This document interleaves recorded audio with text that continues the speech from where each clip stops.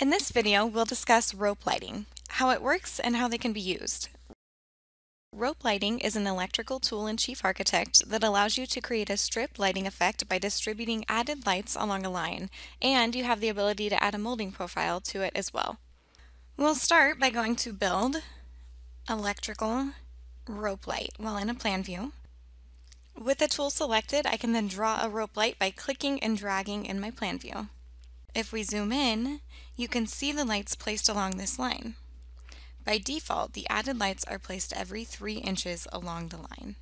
The rope lighting tool is a line-based object and can be edited similar to a line. You can break the line into segments to edit its shape. So let's take a look at this in a 3D by placing a full camera in this room. To better see the lighting effect, I'm going to edit my camera by going to 3D Edit Active Camera.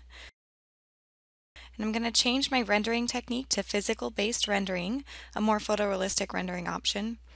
Then I'm going to make sure shadows are turned on. Depending upon how long your rope light is and how many lights it contains, you may want to either increase the maximum number of lights that this camera view has turned on at a time, or create a new light set with just the rope lighting turned on. I don't have more than 20 lights though, so I'm going to leave it alone, but keep in mind that turning on more than 20 lights may reduce your rendering speed.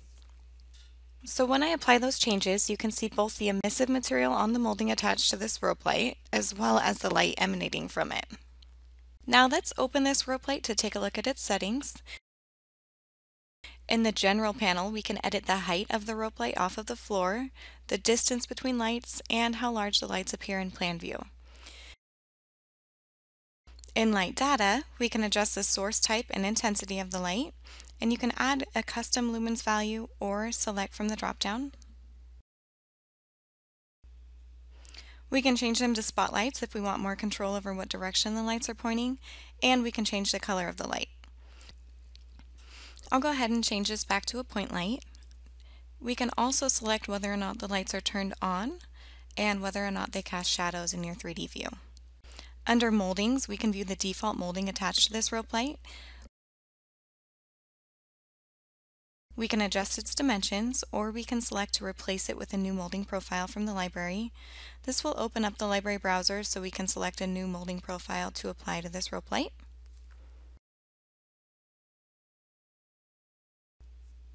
Once I've selected a new molding, I can see a preview of it here. If we look at the materials panel, the material of the rope light has changed to the default material for the molding we have selected, in this case color bone. I'm going to click on select material and browse to the lighting materials to select an emissive option. I'll click OK to get out of this dialog, and this one as well, and then you can see the lighting effects on the rope light here.